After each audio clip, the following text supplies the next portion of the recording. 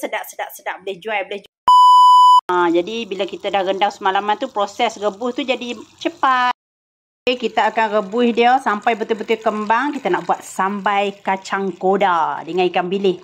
Wih lama saya tak buat ni sayang. Ha, jadi kena rendam dululah. Tahan ayak dulu, rendam sampai dia kembang elok.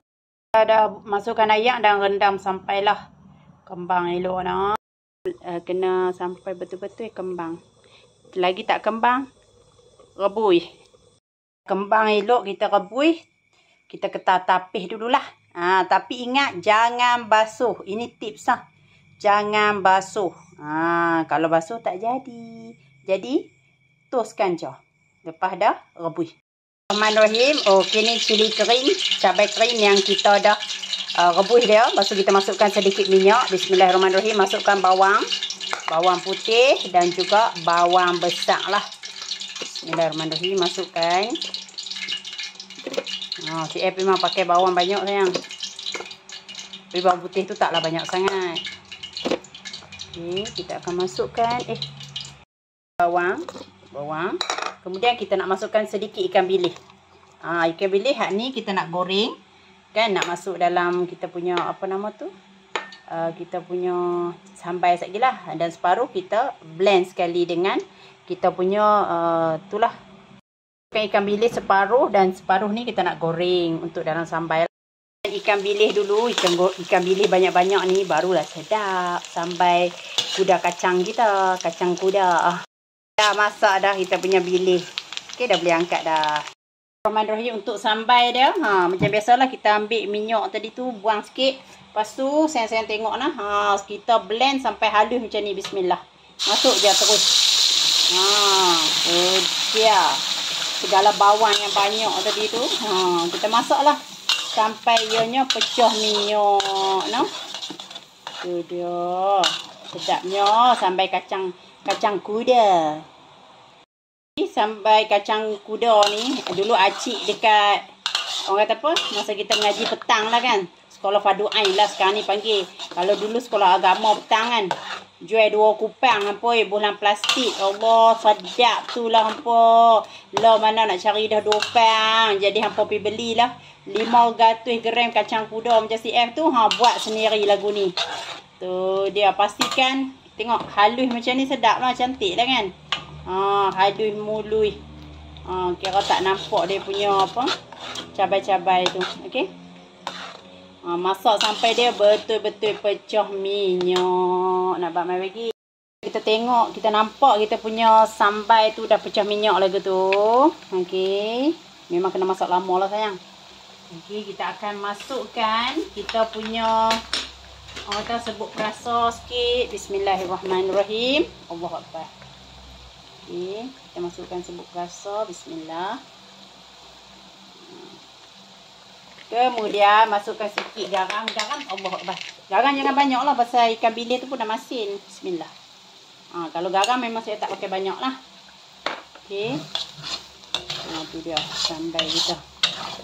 Kemudian kita akan masukkan akan masukkan asam jawa bismillah tapi tak banyak lah sikit je okey ha bukanlah kita nak bagi dia masam pun nak bagi dia berasa je okey Bismillahirrahmanirrahim. Nampak dah pecah minyak elok cantik lagu tu kan?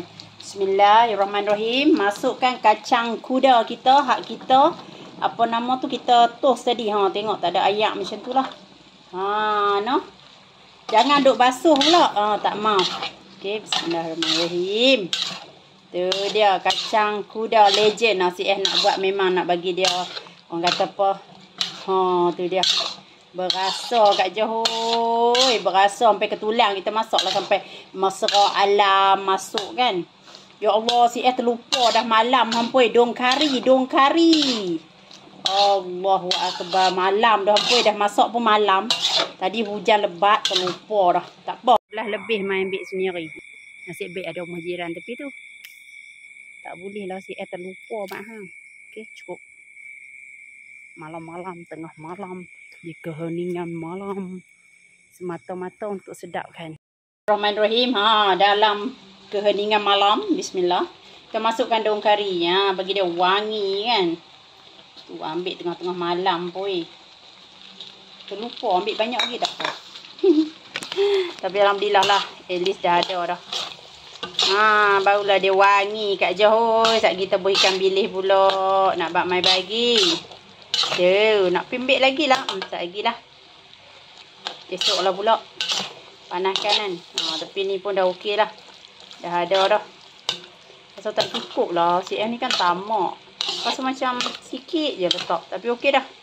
Dah naik bau dah.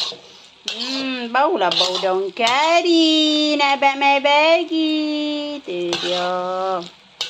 Hmm, wangi dah, wangi dah, wangi dah. Okey, ha, biar dia duduk masak situ. Masak, kita tutup lah api. Ah, tutup api. Lepas tu, lagi kita nak buh ikan bilis. Saya memang nak yang kuah-kuah sikit macam ni. Kalau saya nak kering lagi, boleh lah. Ha, boleh sampai kering, tak ada masalah.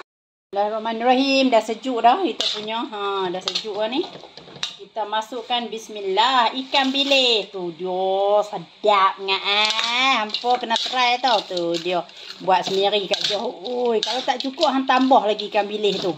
Tadi berasa macam banyak sangat dah ikan bilis. Ha, tapi cukup lah tu. Sesuai lah kan? Ha, tak kira hambur banyak jadi tambah ikan bilis pula tu. Allah akbar. Wangi hampa oi daun kari main peranan. Ha, jangan lupa buat cik. Oi Sedap ni. Ha, sedap tak tahu nak cerita nak buat mai pagi. Tu legend tu. Teringat dulu-dulu. Okey, selamat mencuba. Guna uh, zero dalam semua masakan kita. InsyaAllah sedap, sihat, selamat. Tu dia. Resepi kacang kuda pedah kita. Pedah manja lah. Apa. Letak zero jadi sedap. Doh. Okey. Uh, sedap, sedap, sedap. Boleh jual, boleh